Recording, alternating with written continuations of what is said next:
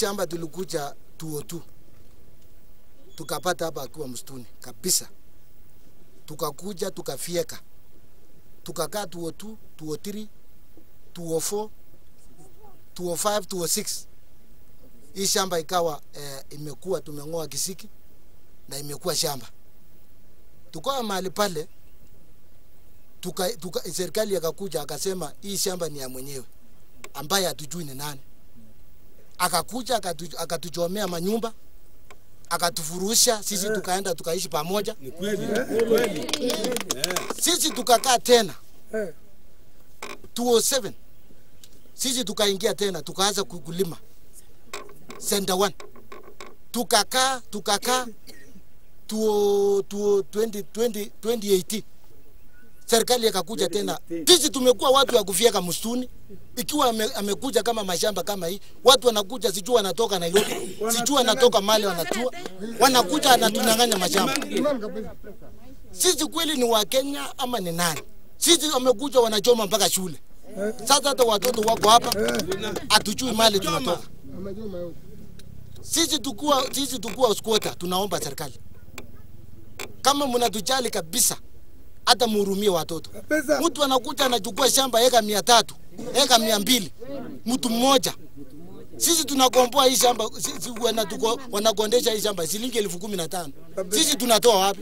Kuna mambo ambayo yanatendeka hapa Ndabibi na tunaomba president, kama ulituma wale watu wa eh, task force wakuja wafanye eh, ile kitu eh, investigation about eh, the land this land of eh, Ndabibi.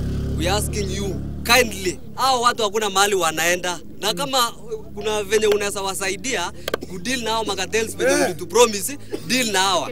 Alikuja hapa last week akatuambia kuna mtu anaitwa Ndishu ambaye anafaa kutukompensate kwa ile mambo ambayo tumefanya ile, ile kazi tumefanya kwa hii shamba, lakini baadaye leo akakuja akasema Ndishu si mwenye, sha, mwenye shamba. Na tunaomba tujue ni nani huyu anatutingiza sisi wananchi na Tuko hapa Ndabibi kwa miaka sana mingi sana, na tumeteswa kuteswa. Tulikuja hapa tuo tu, tukakuja tukakaa hapa mpaka tuo 7 tukakuja tukafurushwa, tukachomewa manyumba huko, tukatoka tukaenda.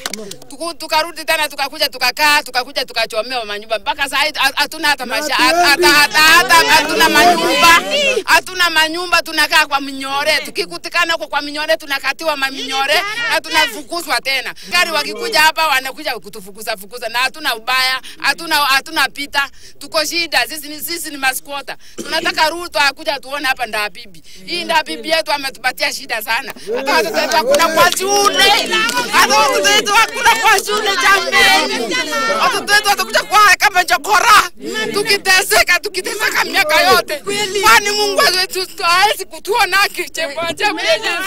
miaka kama ishirini na tano tukiwa hapa tukiwa tunateseka. Mungu wetu uturumie. Ruto kuja uonekalie sisi hapa, serikali yetu ya Kenya, Kashagwa mkuja hapa mtuone.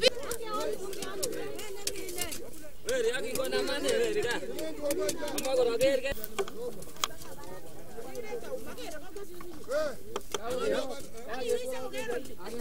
Vamos, vamos, vamos.